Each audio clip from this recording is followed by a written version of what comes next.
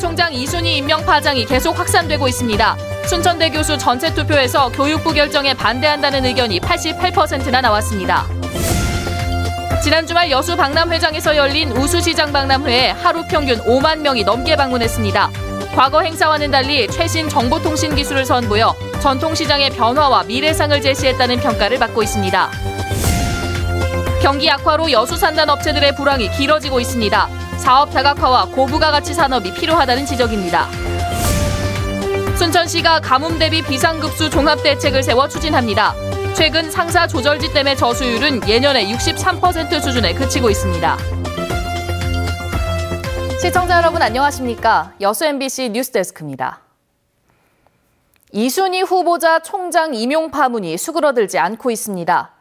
시민사회단체들은 박진성 신임 총장의 용퇴를 요구하고 나섰고 순천대 교수들도 정부의 이번 총장 인사를 받아들이지 않기로 결정했습니다.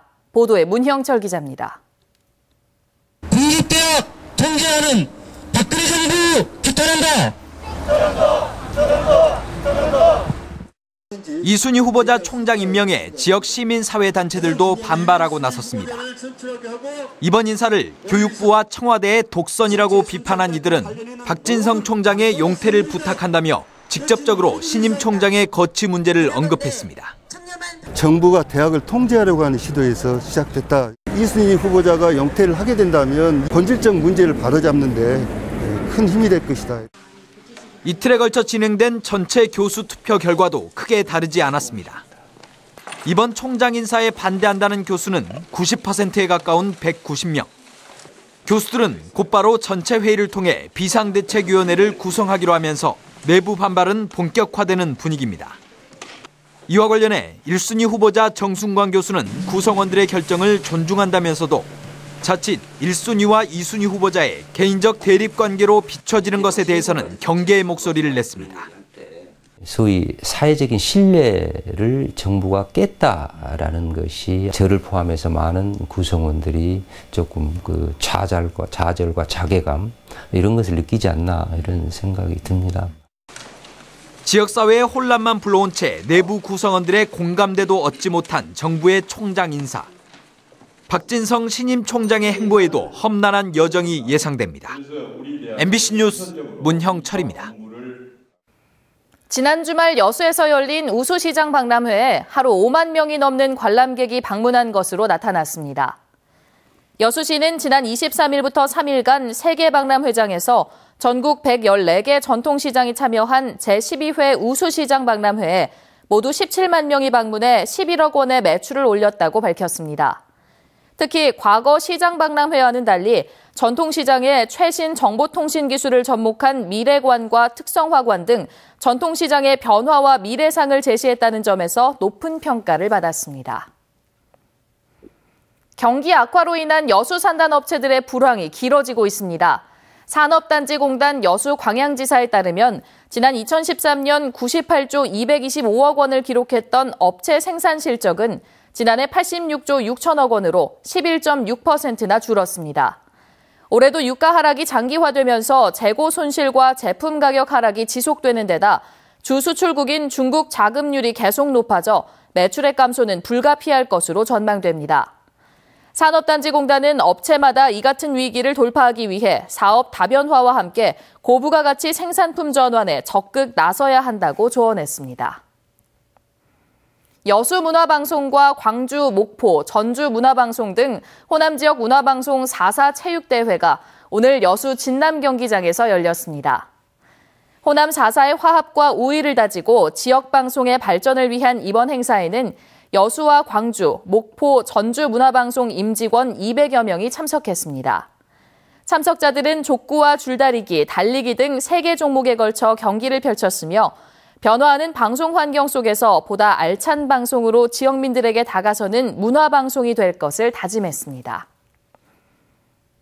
여수시와 서울시 노원구가 자매 결연을 하고 협력 사업을 펼치기로 했습니다. 여수시는 오늘 여수 엠브로텔에서 서울시 노원구청과 자매 결연 협정식을 갖고 지역 특산품의 판로 개척과 각종 재난재해 사고 때 교류 협력에 나서기로 했습니다. 여수시는 또 이번 자매 결연을 통해 우수 행정 시책에 대한 정보 교환과 노원구 공무원들의 연수와 휴양 장소로 여수 지역의 MICE 시설을 활용하는 등 인적 물적 교류가 활발히 이루어질 것으로 전망했습니다. 지역 방송이 공공성을 강화하기 위해서는 우선 재정난과 인력난을 해소해야 한다는 지적이 나왔습니다. 지역 방송이 붕괴되면 지역 공동체가 함께 무너질 것이라는 진단도 나왔습니다. 서울 국회에서 이만흥 기자가 보도합니다. 최근 5년간 18개 지역 방송사에서 퇴직한 직원은 390명. 전체 직원의 30%에 해당하는 인력이 퇴직한 반면 같은 기간 신규 채용 인력은 81명에 불과했습니다. 지역 방송의 공공성을 확보하기 위해서는 먼저 존립 기반이 되는 재원 마련이 시급한 것으로 나타났습니다. 지역 방송 특별법이 제정됐지만 실질적으로 지역 방송사들을 지원할 수 있는 후속 방안들이 이어져야 할 것으로 지적됐습니다. 지역 방송의 본연의 역할이라고 할 수 있는 지역 문화 창달 또 국민의 알 권리 어, 여론의 다양성 확보를 위해서는 무엇보다도 어, 물적인 토대가 확실하게 마련될 수 있도록 방송 광고 결합 판매 제도는 지역 방송 사업자의 지역 프로그램 제작을 독려하는 방식으로 이루어져야 하고 방송법과 방송 관련 법에 지역 방송 편성 규약 등의 내용을 추가해 지배주주의 전횡을 막는 장치가 필요하다는 주장도 나왔습니다. 지역 방송사가 무너지면 지역 공동체도 함께 붕괴될 것이라는 진단이 나왔습니다.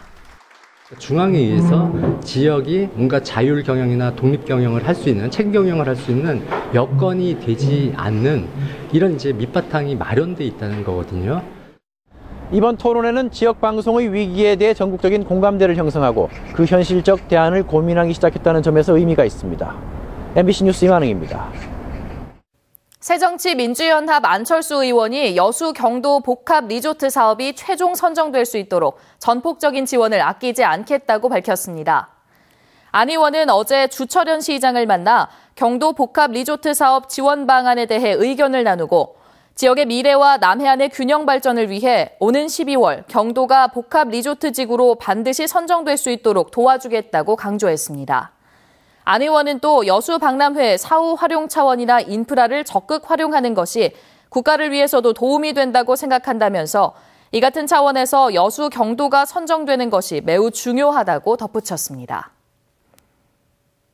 광양시 정현복 시장의 업무 지시가 대부분 이행된 것으로 분석됐습니다. 광양시가 민선 6기 출범부터 올해 3분기까지의 시장 지시사항 추진 상황을 종합 분석한 결과 총 359건의 지시사항 가운데 327건이 완료되고 32건이 추진 중에 있어 91%의 높은 이행률을 보였다고 밝혔습니다.